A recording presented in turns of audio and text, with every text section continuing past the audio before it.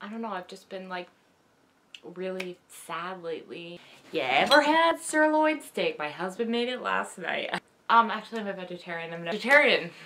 Maybe that's why you're so depressed. Tell me more about your problems, I guess. That's what I'm being paid for, right? Yeah, so I don't know. My boyfriend just recently broke up with me and it was over text too and over text. you're a millennial. That's a millennial. Funny word, right? Millennial. This chicken is really good. I made it last night. I like to prep my meal. Can we focus on me? Like, This is kind of like my therapy session. I don't know. I just feel like we're kind of going off track a little. Off track. well, I would uh, think about your roots then if you're going to talk about off track. Sure looks like you dyed. and by that I mean it looks bad. I just want to be honest as your therapist. You're not really my friend, you're my therapist, so. Right, and as your therapist, I think you're fucking not doing a good enough job of showing your tit, tit, tits, your boobs, your tits. Show a little more, honey. That's true. I just, I, you know, I have a lot of body image issues, which is kind of like why I'm here to work on, work on my issues, which I hope we can get to once we move past all this weird stuff. W-E-I-R-D, weird. A friend who works at Tumblr, and I'm gonna text him right now. I don't really care. I mean, what will that do anyways? Tumblr can destroy your career in a matter of seconds.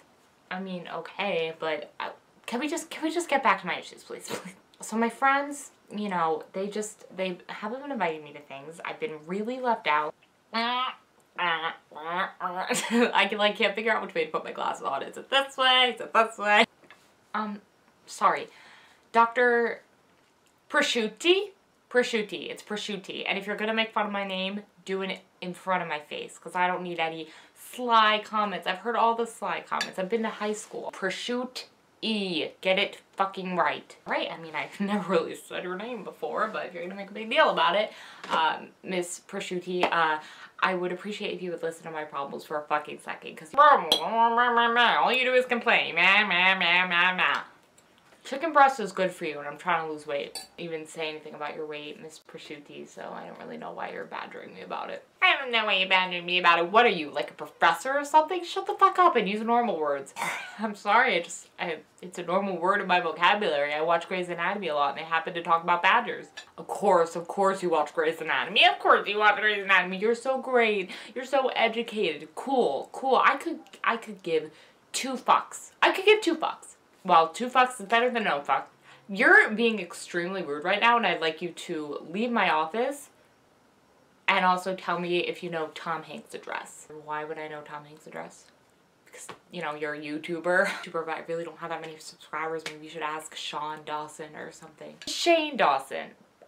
Get it right. The queen of galaxy cakes? Yes, I will. I will. I actually have someone who is counseling him right now. He's trying to decide whether he um, is a reptile or not. So I have one of my friends that's counseling him through that. It's a really rough time for him. I think, you know what, Miss Prosciutti, I don't really need this kind of abuse. I think I'm just gonna go. I'm just gonna go. Okay, fucking go. See what it'll do to my career.